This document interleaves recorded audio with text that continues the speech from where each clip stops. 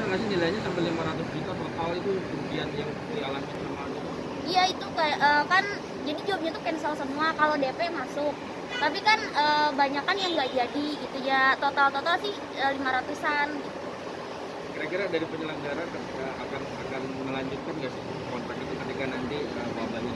Kondisi ini stabil. Dia mereka bilang sih kemarin malah udah sempet ada yang udah booking tiket pesawat gitu-gitu. Jadi kan biasanya dua minggu atau sebulan sebelumnya mereka udah eh, booking tiket pesawat kan ya, udah ada tiket pesawat. Nah jadi eh semuanya cancel ya sebenarnya rugi rugi besar mereka juga gitu. Tapi mereka masih mau eh, tetap bilang abis corona, after corona mereka mau eh, bikin event.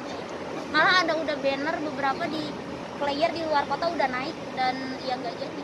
Kalau boleh tahu ada berapa total uh, apa namanya Makanan. job yang yang cancel. Banyak ya ada 10 kali. Itu dalam satu bulan ini. Iya.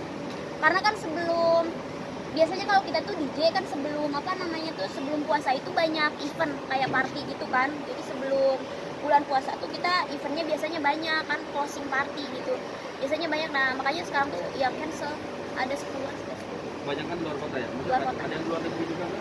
Oh, luar negeri belum. Tapi Dinar ngatasin kebosanan ala cara dinner sendiri Di gimana? rumah gitu WFH apa ya? Hmm. Jangan tidur lagi ya. Enggak tidak. Ya, gimana ya kak? Paling eh, baca buku, live streaming gitu-gitu ya. Sebisa mungkin cari uang dari online juga aku kayak gitu. Tapi ya alhamdulillah ada sih, ada sih yang ada salah satu live streaming yang kontrak aku, jadi lumayan juga gitu. Oh masih ada aja yang host-host gitu ya? Ada tapi kayak apa online sih lebih ke online. Tapi uh, secara angka jelas jauh berbeda ya? Eh, secara angka jauh lah jauh. Tapi kalau bisa dibilang masih lumayan bisa buat nyam- nyambung-nyambung lah gitu ya? ya gimana ya ya lumayan lah buat belanja gitu buat belanja kan eh, apa namanya itu daripada terus apa dari tabungan diambilin terus kan eh, minimal ya dia ada tambal-tambal lah dikit-dikit Oke, selama nggak nge-DJ mungkin ada ada nggak sih kamu memproduce uh, lagu gitu kan, apa bikin-bikin lagu gitu? oh Roman itu iya itu kan aku tektokan sama teman jadi kayak kan temen aku jadi temen aku tuh bener-bener dia itu orangnya bersih banget. Jadi dia tuh sama sekali nggak mau ketemu. Jadi kita tuh aku kasih ide ke dia dia yang bikin terus dia nanti lemparin ke aku.